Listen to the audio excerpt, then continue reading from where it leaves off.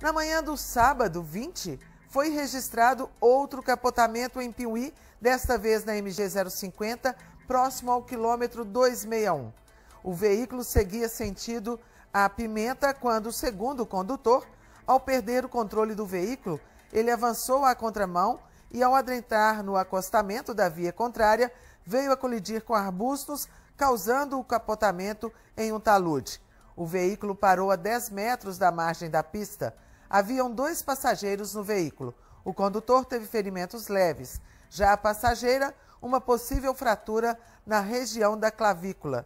A equipe do SAMU apoiou na operação, realizando os tratamentos necessários e o transporte dos pacientes ao hospital. O veículo acidentado ficou aos cuidados da concessionária AB Nascentes das Gerais. Já na rodovia 34, na tarde da sexta-feira, também 19, foi registrado um capotamento no quilômetro 35 em Piuí.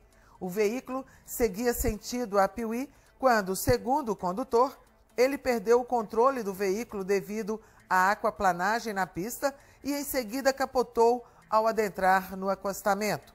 Dentro do veículo haviam duas pessoas. Ambas não tiveram ferimentos e dispensaram os atendimentos pré-hospitalares.